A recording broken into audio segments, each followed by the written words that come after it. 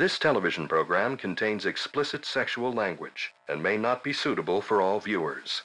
The host is Dr. Ruth K. Westheimer. Hello?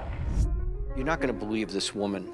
She has a deep German accent and she talks about sex. And I think we should do something with her. In the early 80s, people did not talk about sexuality. You have a certain list of words you can't say. Well, we said them. And then let him insert his penis into the vagina from behind. We didn't think it would explode like it did. And then, of course, she got her own television shows. Before I started to do television, the most important thing for me was education. While I was studying, I was a single mother. I got a position at Planned Parenthood, and I loved it. I never compromised, even when it was not popular. Ruth, I'm placing you under arrest. Are there parts of your past that you don't like to talk about?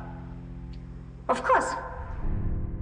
She's had a lot of tragedies in her life. Having been raised with no family around, there was no place on earth for me. She was a young child living in Frankfurt, Germany, when the Nazis came to power. Because of my background as a German Jewish refugee, I had a sensitivity for the people who were regarded as subhuman.